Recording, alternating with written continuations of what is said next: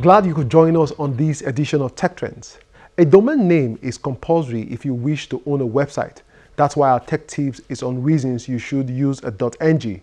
Our mobile app of the week simplifies communication and you stand a chance to win a gift on our giveaway segment if you stay with us. This is Tech Trends and I'm Chukwemeka Agbata.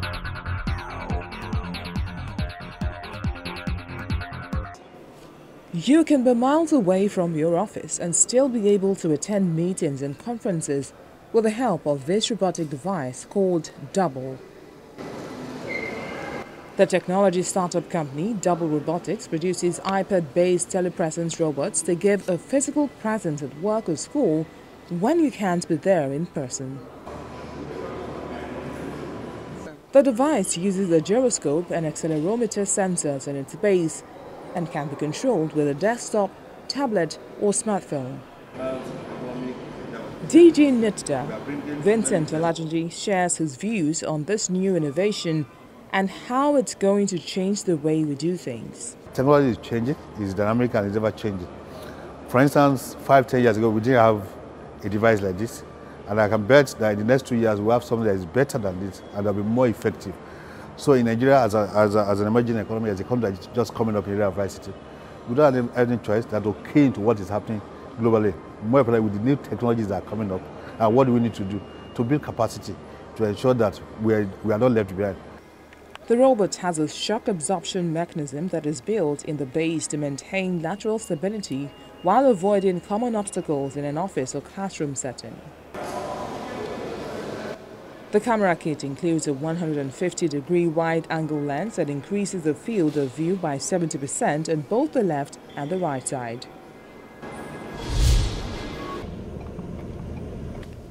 Ride-hailing service Uber is giving some Pittsburgh, Pennsylvania residents the chance to experience a vehicle that drives itself. The launch of Uber's self-driving pilot program marks the public unveiling of the company's secretive work on autonomous vehicles and the first time self-driving cars have been so freely available to the U.S. public.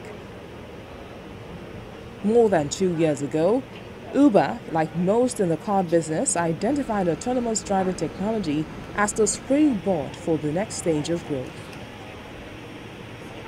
The aggressive San Francisco-based startup has already shaken up the world's taxi services, earning a valuation of $68 billion. It plans to ultimately replace many of its 1.5 million drivers with autonomous vehicles. But it's not as if robots are taking over the steel city. There will only be four self-driving vehicles available to passengers to start and two people will sit in the front to take over driving when the car cannot steer itself.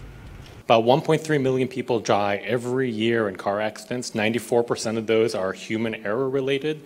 We strongly feel that self-driving technology can make a dent in those statistics. So Pittsburgh for us is one, home to world-class engineering and research talent, and we're trying to tap all that, but also Pittsburgh is an ideal environment for us to be doing this type of work. Pittsburgh is an old city, it has organic road network, it has real traffic problems, it experiences extreme weather. So we really feel that Pittsburgh is the double black diamond of driving. We really feel that if people can, if we can master driving in Pittsburgh, that we can easily, or at least make an effort into mastering driving in other cities around the world. Reporters observed the Uber cars safely and for most parts smoothly stopping at the red lights and accelerating at green lights, travel over a bridge, move around a mill truck, and slow for a driver opening a car door on a busy street, all without anybody touching the controls. But the Uber driver and the engineer in the two front seats did intervene every few miles. I think uh, if Uber scores a home run with this, it's going to be wonderful for the planet. The reason is I see a much safer world and a much more efficient world where we have to uh, use less energy to move people around. By integrating self-driving cars with its ride services app, Uber may be the first introduction to autonomous cars that many people will have. I hope this works here in Pittsburgh. I personally want to see more autonomous vehicles. I'm looking at the safety data and I would like to see a reduction in deaths and crashes. I'm also looking at the opportunities for greater independence for people with disabilities and older adults. Industry executives remain sharply divided on the timeline, with some expecting fully autonomous cars within five years and others predicting they are still decades away. Uber's Pittsburgh fleet consists of Ford Fusion cars outfitted with 3D cameras, global positioning systems, and a technology called a LiDAR that uses lasers to assess the shape and distance of objects mounted to the vehicle's roof. Among the residents, there are mixed responses. I think that it's a really, really cool innovation, especially at this time. But for me personally, I wouldn't feel comfortable being in a self driving car just because I'm one of those people that won't really be able to trust. I'm sure it wouldn't be the norm for another like 10, 15 years anyway. Uh, but yeah, I think it could be a good idea. It might put some people out of jobs, but I think it's a cool concept.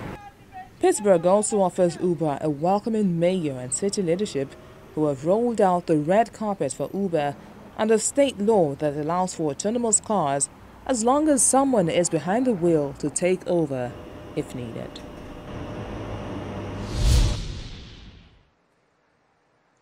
And here it is.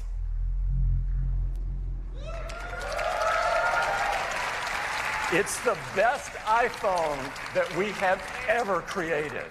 Apple unveiled its new water and dust resistant iPhone 7 with high resolution cameras, with a Super Mario game coming to the new phone, and Pokemon Go would feature on its upgraded Apple Watch.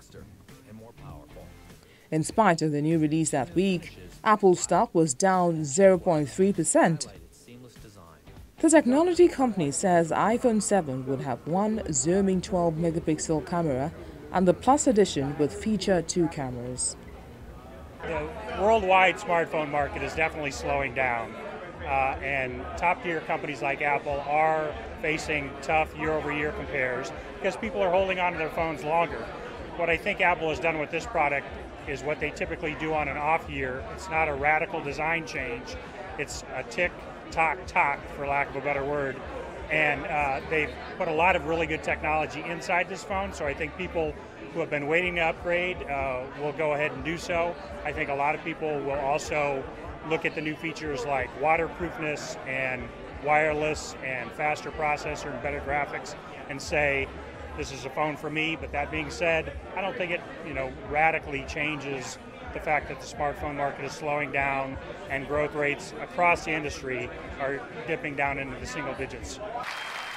As widely expected, the analog headphone jack has been removed. The new headphone supplied by Apple with the phone will plug into the same port as the recharging cord, but will also work with Apple's new wireless headphones called AirPods. How do you set them up?